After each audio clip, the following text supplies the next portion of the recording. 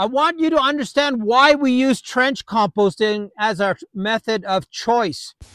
Trench composting has many advantages. Out of sight, out of reach, no smells, 60 centimeters deep of soil, worm incubator, reusable holes, perpetual harvest.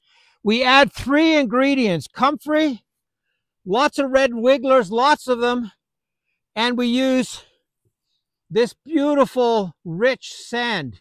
And this sand actually conditions, helps condition the soil in such a way that it's usable right away when we dig it out in six months. We have all kinds of twigs in here to keep the uh, compost pile aerated. These worms go to work inside here and they will digest this compost very quickly and they'll reproduce.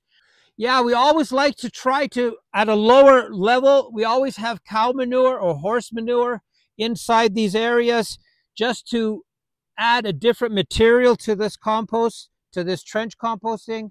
So adding diversity to your trench composting is very, very, very important and make use of it because the end result is that the soil that comes out, the uh, compost that comes out is going to be so nutrient rich and diverse that your plants will absolutely love it.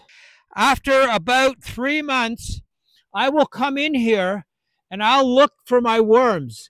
If they have no food left or if they basically are stranded inside this compost pile, I will save them. I will get them out and I will get them an area with new food. So we'll come in here in three months, check if the worms still have enough energy to keep going. And then what we'll do is we'll take the worms we find in this trench compost and we'll move it to the next trench composting area so they're always in food. It is crucial. These worms, these red wigglers don't do well if you're not feeding them all the time.